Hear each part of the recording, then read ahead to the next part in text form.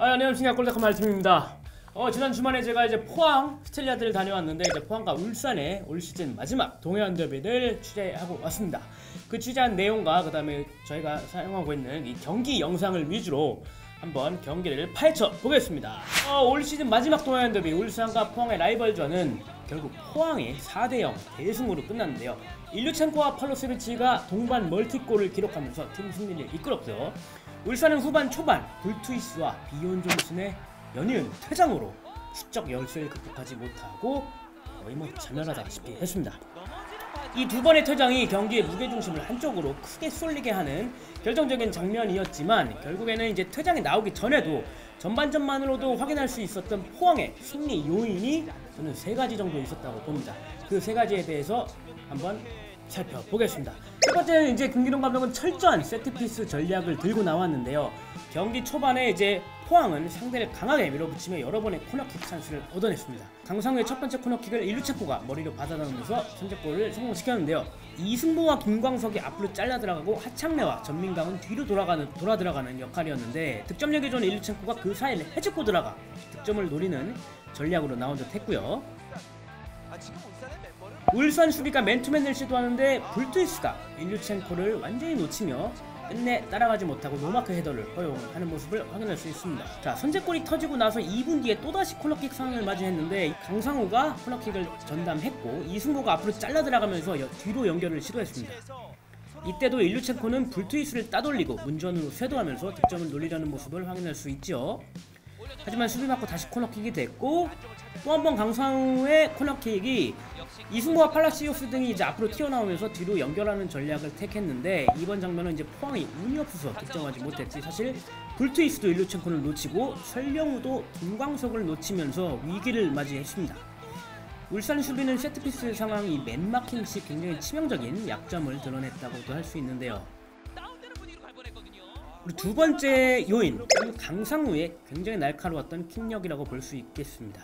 지난달 상주 성무에서 제대 후 팀에 복귀한 강상우는 상주에서 보여준 공격적 재능은 잠시 접어두고 포항의 약점으로 지적받던 왼쪽 풀백 위치에서 플레이하고 있는데요. 하지만 여전히 K리그 도움 1위답게 굉장히 날카로운 킥력을 보여주고 있습니다. 전반 17분 직접 프리킥으로 골대를 맞춘 장면도 그의 킥력이 절정에 올랐다는 것을 보여주고 있는데요. 팀의 네 번째 골 장면에서도 팔로세비치 머리 위로 정확하게 배달되는 택배 크로스를 통해서 이날 경기 두 번째 도움을 정립했고요. 이로써 K리그 도움의 도움 부분 1위를 거의 뭐 대체불가 1위로 이름을 올리고 있는 강상우 선수입니다.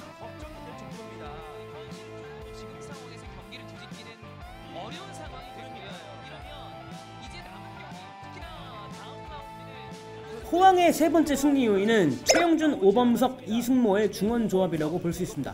김기동 감독은 이승모를 팔로스비치가 뛰던 2선 미드필더 자리를 올리고 최영준의 파트너로 오범석을 선택했는데요.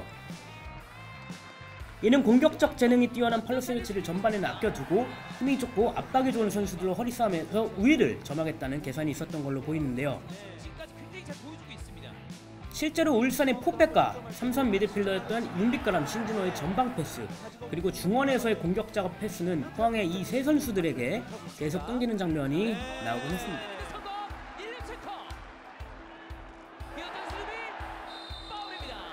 결국 울산은 사이드로 볼을 내어 최전방에 있는 장신 공격수였죠. 비욘 존슨을 겨냥한 단조로운 크로스 그런 단조로운 공격 패턴만 시도할 수밖에 없었는데요.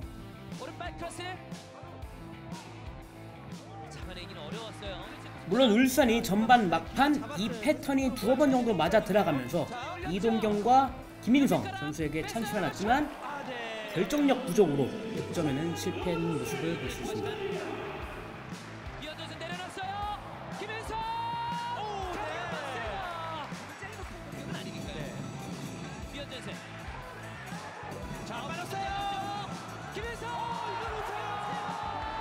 이렇게 올 시즌 마지막 동해안 더비는 포항의 완승으로 끝이 났고 포항으로서는 올 시즌 한 번도 못 이겼던 라이벌전에서 승리하면서 마지막 자존심을 지킬 수 있었습니다. 울산은 이날 패배로 이번 주말이죠 26라운드 전북과의 맞대결을 통해서 어, 우승의 향방을 가릴 수 있겠는데 더욱더 쫓기는 마음으로 굉장히 중요한 전북과의 맞대결을 치르게 된 상황이라고 볼 수 있습니다. 네 다음 주에는 울산과 전북의 굉장히 중요한 올 시즌 우승을 향방을 가를 굉장히 중요한 일전을 파헤쳐 보겠습니다. 감사합니다.